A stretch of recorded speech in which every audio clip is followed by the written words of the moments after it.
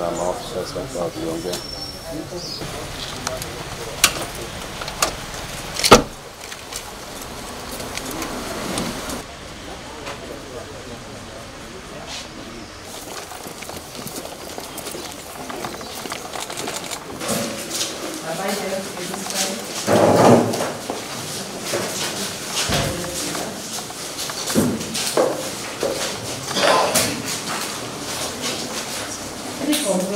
if you are sitting somewhere, and that seat is not supposed, it's too full.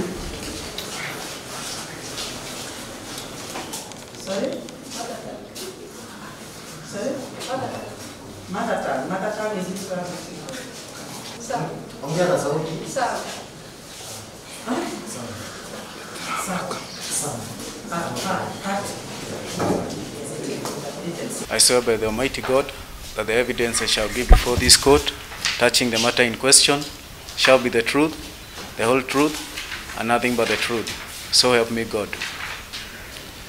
I'm investigating a case of murder contrary to section 203, as read in section 204.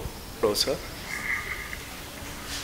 Nicholas Njoroge Warunge, his wife Anne Wanjiku Njenga, son Christian Njenga Njoroge, their niece Maxwell Jenga, Mason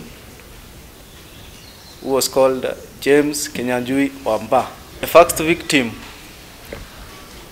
fall in the hands of the killers was uh, James Kenyanjui Wamba, who was killed uh, in a construction house uh, just beside uh, the main house where the rest of the family resided.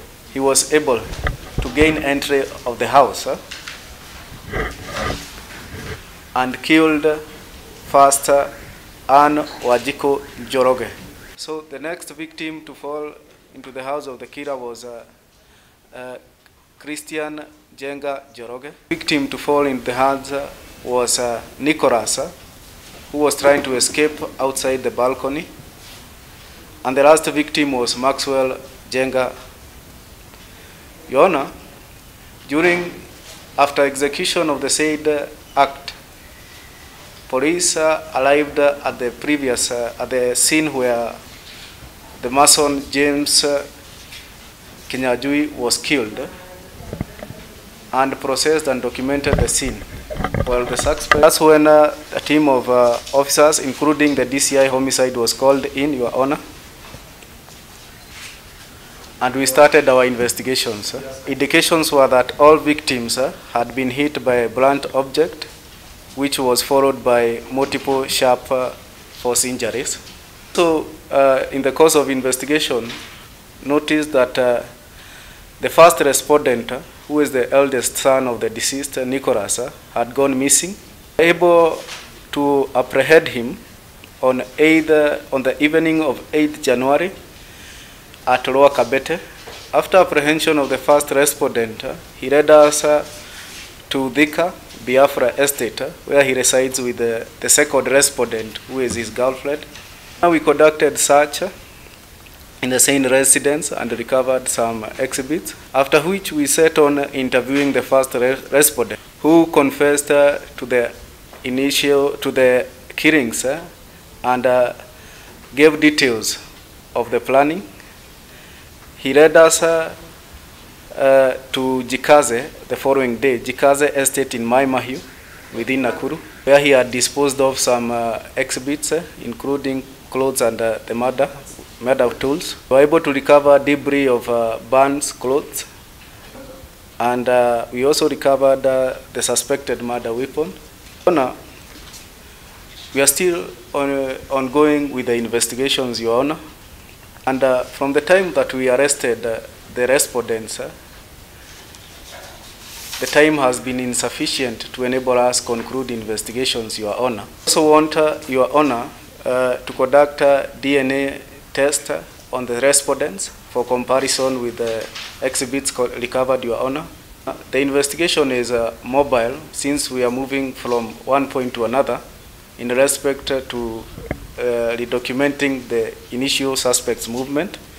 Your Honor, also owing to the number of victims uh, that fell to the crime, we pray that uh, we be given time to be able to conduct postmortems, to be uh, conducting, uh, causing the conduct of uh, mental assessment on the accused persons, on the respondents, Your Honor. Sorry.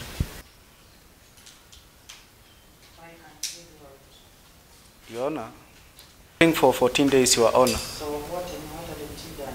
You have not done. We have not, uh, yes, Your Honor. We have not completed uh, the recovery of, of exhibits, Your Honor. We have not uh, collected their DNA samples, Your Honor. We have also not conducted their mental assessment, Your Honor. And we are still retracing some witnesses, Your Honor. The Incident has attracted a lot of uh, public uh, agitation. The lives of the respondents may be in danger if they are released, Your Honor. The suspect, the first respondents also went into hiding after the incident, uh, which is a, an indication to the investigators that uh, if released, uh, considering the grievous, the grievousness of the offense, it may act as an incentive for the respondents not to appear before court, Your Honor sisters uh, to the respondents whose life may be in danger. The respondent is released. That.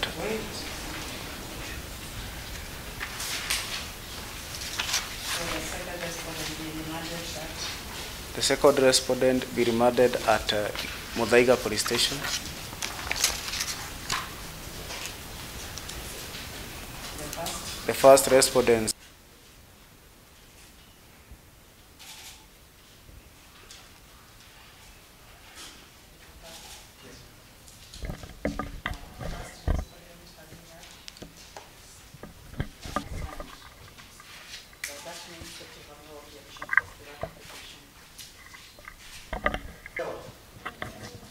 Any objection or any comment?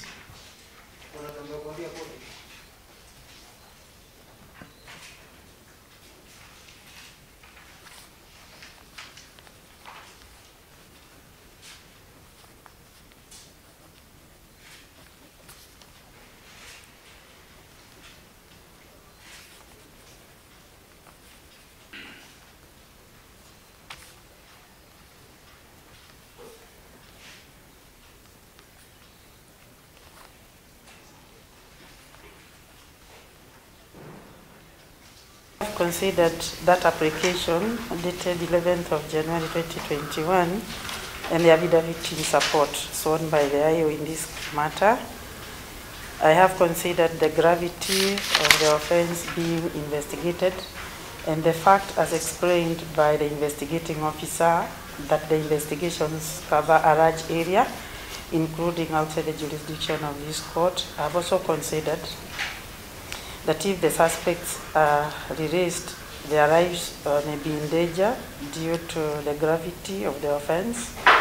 Besides, the two minors who are siblings to the first respondent uh, may also be in danger if the suspects are released.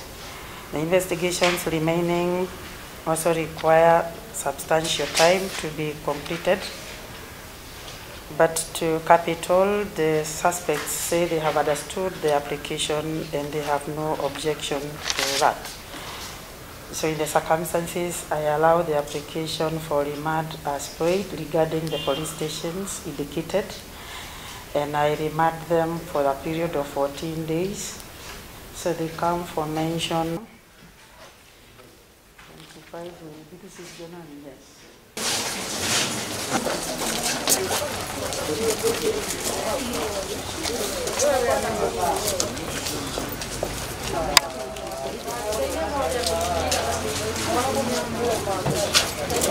喂。